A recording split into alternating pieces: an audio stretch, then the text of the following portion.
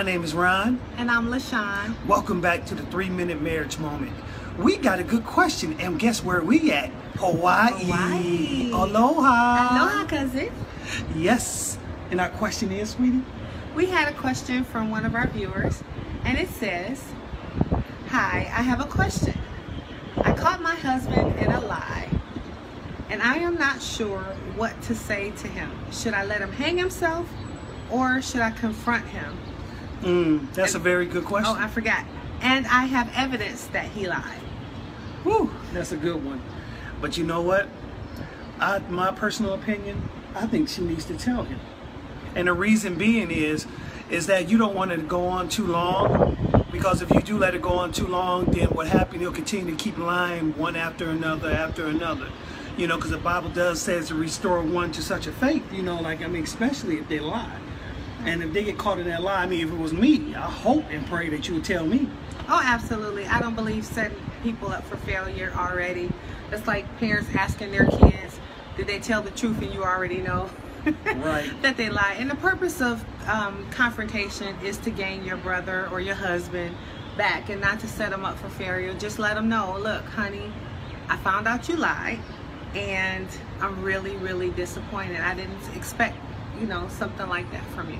Yeah, for the Bible says, for love covers a multitude of sin. So you definitely want to approach this, you know, in a loving manner. You don't want to come hard, but you have to do it in love. And the reason why is that when you come in love, it's much more easier to receive. You know, maybe take them to dinner or sit them down somewhere or saying like, you know, honey, we need to talk. You know, it's good to start off a conversation like that because Right. to come right off saying, you a liar. And I know this and that. Right. Nah, that wouldn't be right. And remember, a couple weeks ago, we talked about the grace card. Yeah. For all have sinned and come short of the glory of God. And it's important that we understand that none of us are perfect and we all have our faults. And a lie is not bigger than Stealing. stealing or, you know, cursing or something like that. So, you know, you want to be honest, but you want to come in love. Have you ever lied to me? Yeah, I have lied, you know, but it wasn't because I did it on purpose.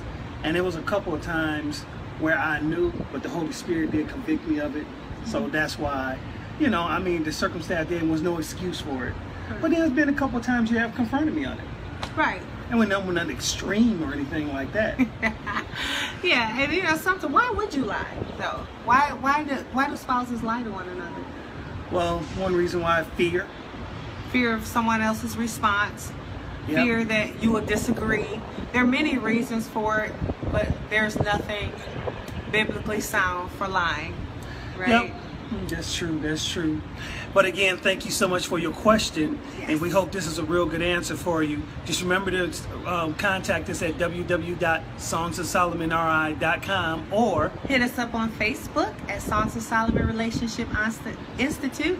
And once again, from Honolulu, Hawaii, aloha, aloha. peace. Peace. Love you.